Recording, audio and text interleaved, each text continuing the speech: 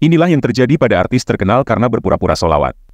Sebelum dimulai jangan lupa subscribe yang sudah subscribe semoga termasuk golongan manusia yang dirindukan surga, amin. Artis ini sering membintangi film-film panas di Mesir.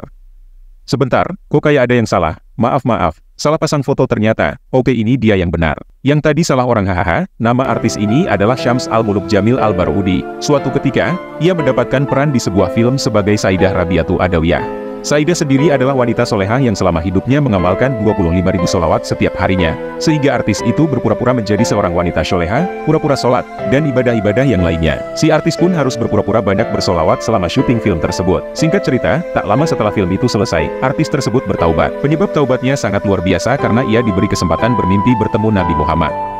Setelah bermimpi, ia mendatangi seorang ulama ternama untuk membimbing taubatnya. Semoga kita pun selalu berada di jalan Allah. Amin.